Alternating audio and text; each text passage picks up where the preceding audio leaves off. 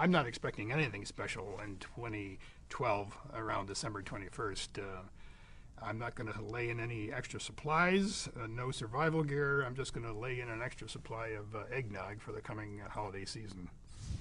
There's no planet Nibiru, there's no planet X, and nothing is hurtling toward us. Uh, but there have been claims on the internet that there is a planet called Nibiru, four times the size of the Earth, that's going to come close to the Earth or smack it in December of 2012.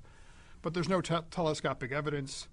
There's no evidence that it's perturbed any of the inner planets or the outer planets, uh, which it would have to do if it were in an orbit around the sun. And so there's no evidence whatsoever. And as Carl Sagan pointed out many times, uh, extraordinary claims require extraordinary evidence, and there's no evidence whatsoever for Nibiru. The Mayan calendar does not end in 2012. Uh, they have terms that they use for long periods of time, much like we have terms for long periods of time, like a decade, a millennia. The Mayans had something called the long count, which was 5,125 years long, and that's what's coming to an end on December 21st, 2012.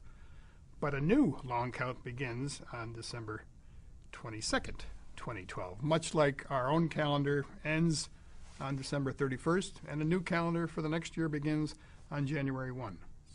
Regarding the solar maximum cycle, uh, the sun has a period of solar activity that lasts about 11 years, so it is scheduled to reach a maximum around 2012, but it's been doing this um, for millennia. It reaches a solar maximum every 11 years or so for millennia, and there's no reason to suspect that this 2012 time period will be any different from the others. Now, as far as the Earth's magnetic field goes, uh, there is, in historic time, uh, pole reversals, north to south, south to north. But that sort of pole reversal of the Earth's magnetic field occurs on 400,000 year timescales, and it takes thousands of years for that change in polarity to take place. And there's no evidence whatsoever that it's going to start uh, changing polarity in 2012. And even if it did, uh, it, that wouldn't affect the rotation of the Earth, nor would it affect the, the rotation axis of the Earth.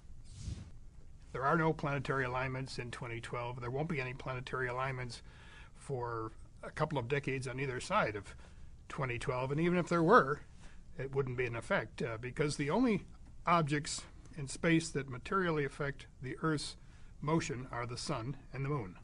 Folks have to be very careful when they get information on the web, uh, and that's that goes especially for objects that are in near Earth space and uh, are coming close to the Earth. Uh, we have a, a, website called Asteroid Watch, which is backed with evidence and scientific uh, method. Uh, if we put something out there, it's the truth. Uh, if you go to other websites and they're putting things out without evidence, without science, uh, don't believe it. you have to be very careful where you go for your information.